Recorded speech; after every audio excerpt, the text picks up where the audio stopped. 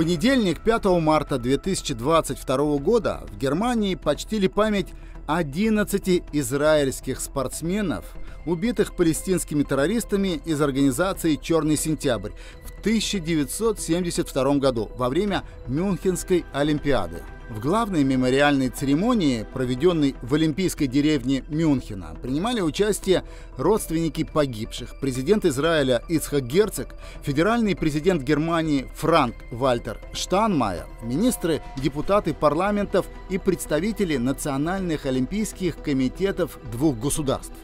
Президент Германии признал, что в сентябре 1972 года его страна не оправдала доверия. Организаторы Мюнхенской Олимпиады хотели показать миру новую Германию, оставить в прошлом Олимпийские игры, проведенные нацистами в Берлине в 1936 году. Однако организаторы были обязаны позаботиться не только об имидже своей страны, но и о безопасности тех, кто с первого дня игр находился под угрозой, в первую очередь о безопасности спортсменов-израильтян.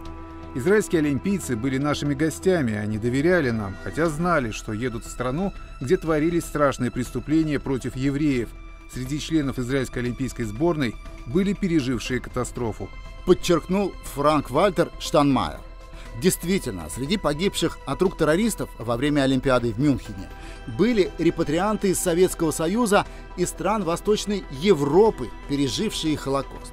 Бывшими гражданами СССР и новыми репатриантами были спортсмены Зейв Фридман, Элиэзер Халфин и Марк Славин.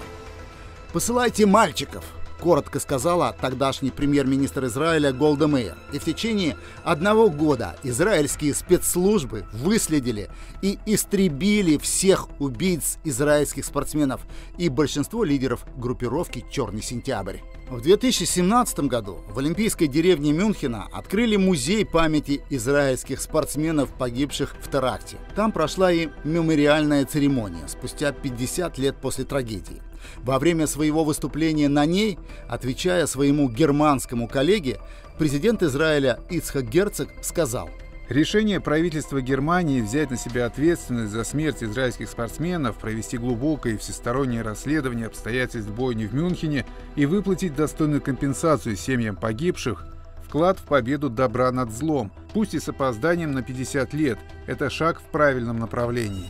Памятной дате предшествовали скандалы в Израиле. Родственники убитых спортсменов угрожали бойкотировать церемонию в знак протеста против унизительной компенсации в 5,5 миллионов евро на всех, предложенной официальным Берлином после многолетних требований израильской стороны. Компромисс по вопросу выплат компенсации был достигнут 31 августа, за пять дней до церемонии в Мюнхене правительство Германии увеличило сумму компенсации родственникам израильских спортсменов, убитых в 1972 году, до 28 миллионов евро. Около 20 миллионов из них будут выделены из федерального бюджета. Остаток суммы предоставят земля Бавария и город Мюнхен. Таким образом, 23 семьи убитых получат примерно по 1 миллиону 200 тысяч евро каждая.